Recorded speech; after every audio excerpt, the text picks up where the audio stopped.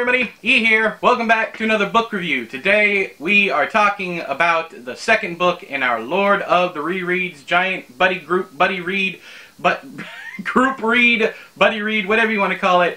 That is Fellowship of the Ring, and yes, it's book two because we did The Hobbit first. But before we jump into the review, I am going to ask this fantastic literary book of answers by Carol Bolt whether or not we should go directly into the Two Towers or if I should wait a week and kind of decompress. You'll figure out why I'm asking in just a second. So let's throw open the book. It says, Clear the ground that you may. Clear the Ground That You May by James Fenimore Cooper from The Pioneers.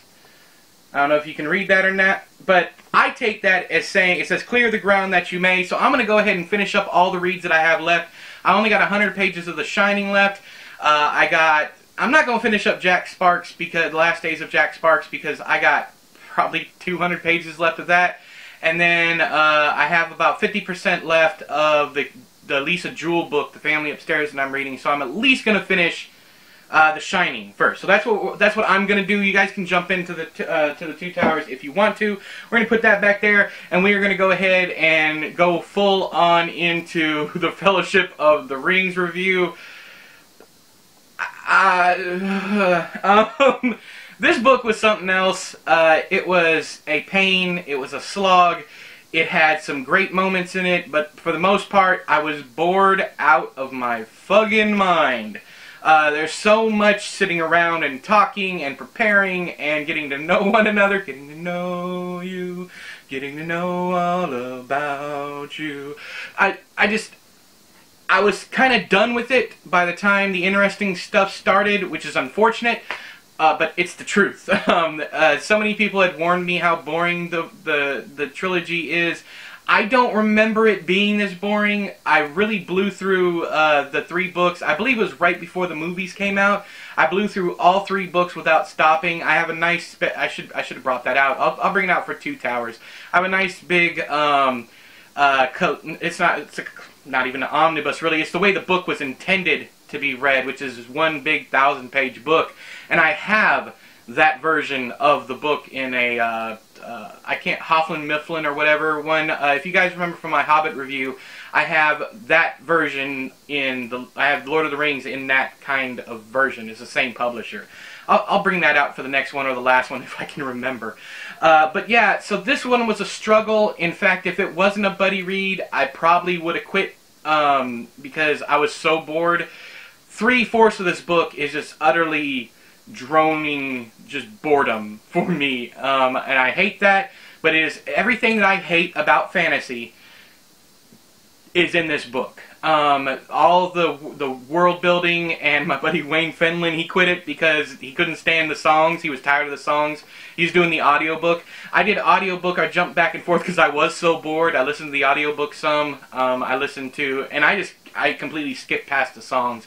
And then I went back and I read the songs um, because they're very easy to find in the book. All you got to do is, uh, well, of course, I would go to the back of the book where there isn't as many, but you know they're really easy because they're they look like poetry. So because they basically are, but in lyric form. Um, I.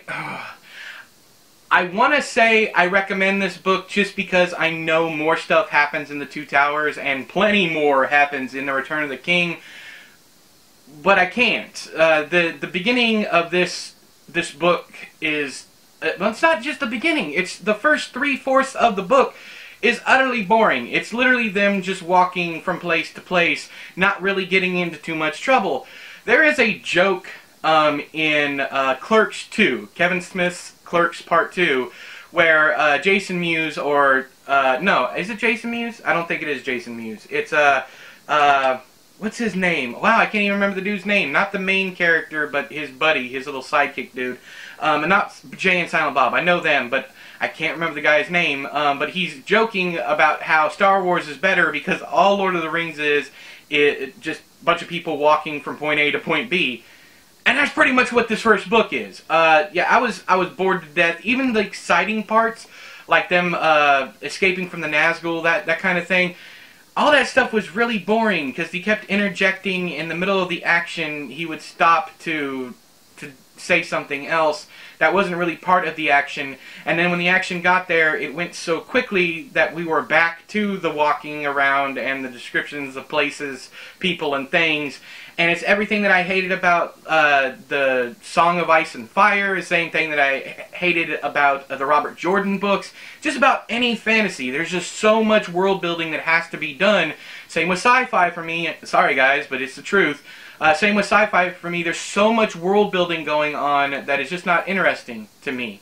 Um, I picture it just fine, though, and all that. I just don't care. Uh, I, and it's that's bad to say, but I don't.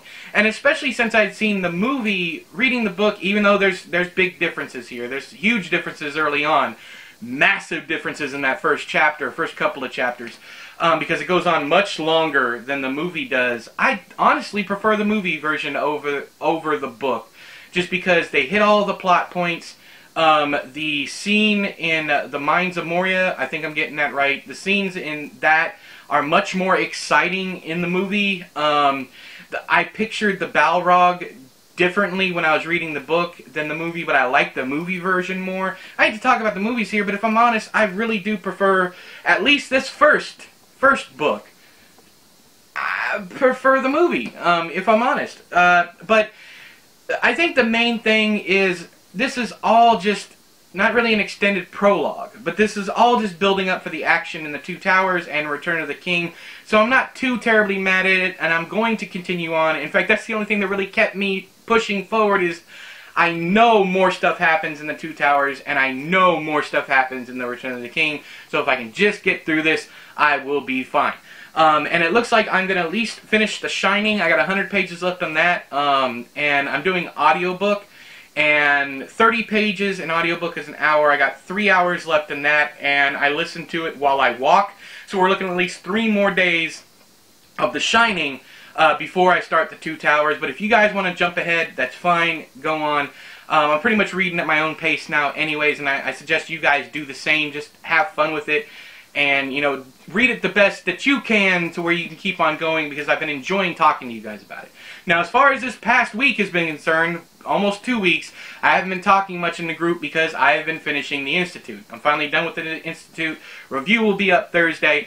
But that's all I really have to say about this book. Um, if, let me know down there in the comments below whether or not you liked this book, if you disliked it. Let me know the reasonings behind it so we can have a discussion. Leave me all that down there in the doobly-doo. But until next time, I have been E, you have been you. This has been another book review. I'll talk to you guys later. Bye-bye!